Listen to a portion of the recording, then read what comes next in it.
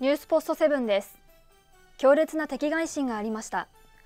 セクハラパワハラ疑惑が報じられた市川猿之助さん。同じ澤高屋の歌舞伎役者である市川中車さんこと香川照之さんを批判していました。昨年8月銀座のクラブホステスへの性加害が報じられ表舞台から消えた香川さん。歌舞伎関係者はスキャンダルが出た時同じ澤高屋の一門としてショックなはずなのに猿之助さんはそうは見えずますます意気健康でした。